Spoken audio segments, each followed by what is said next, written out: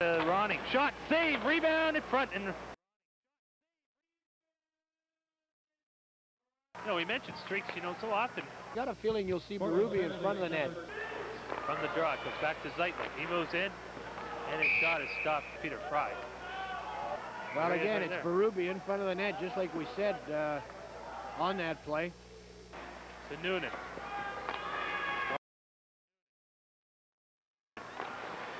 Zeitlen, shot, rebound. There is no rebound. Fans, we have a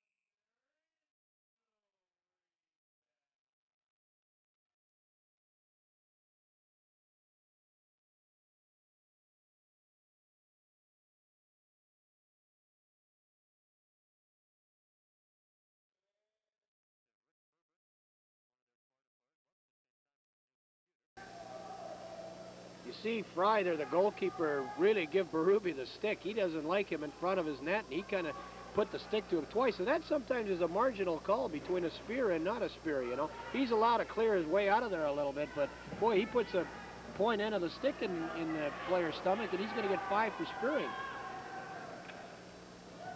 Terry, Not only that, excuse me, Dan, by spending so much time on the man in front of the net, he loses sight of the puck occasionally. And, 22, Craig Berube. well, I don't know. The other angle violation. certainly shows, as you say, Danny, the referee ah, they're calling a crease violation. Berube, two minutes for increased violation at 50-45. Well, that No might be a good call.